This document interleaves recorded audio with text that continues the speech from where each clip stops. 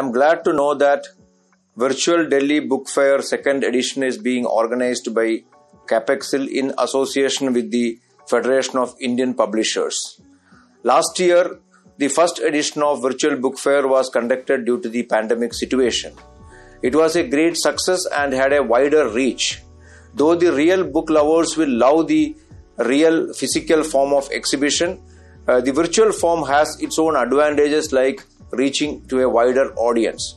Now, COVID has made this a new normal, and uh, seeing the success of the first book fair, Capexil is going ahead with the same platform this year also.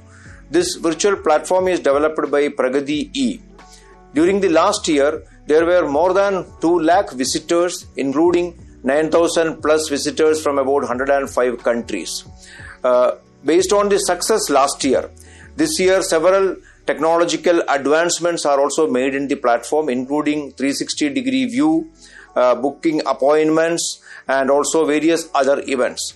I am glad that uh, in spite of pandemic situation, the publishing sector is having a very good growth.